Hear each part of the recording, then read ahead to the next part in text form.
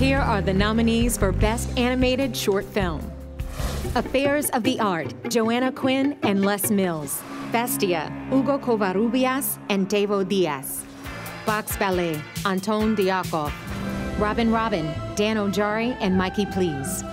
The Windshield Wiper, Alberto Mielgo and Leo Sanchez.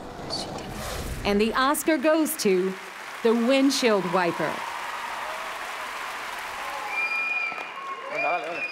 Okay, uh, well, there is no swearing here, sorry. Um, uh, okay, animation uh, is an art that includes every single art that you can imagine.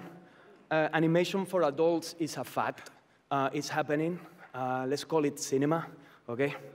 Um, we killed it a few years back with Love, Death, and Robots. We opened a wide range of possibilities of what we can do with this.